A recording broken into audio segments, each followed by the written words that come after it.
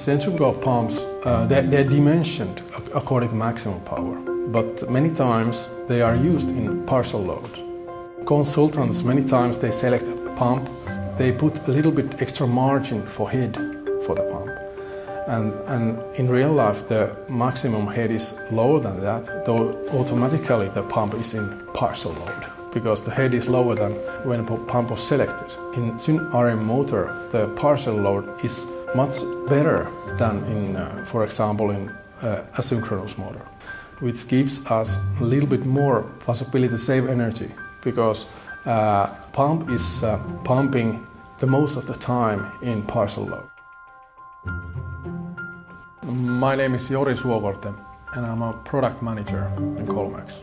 Manufacturing pumps since 1945, Kolmeks serves both domestic and international markets with a wide range of pumps and motors.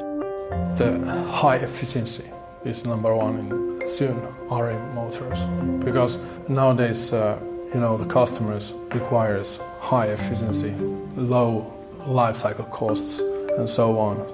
Actually, the district heating companies are very interested in high efficiency because they want to keep the energy bill as low as possible when they are making heat in the plant. Uh, economical issues are very important when you are investing products. So uh, the payback period must be short as possible.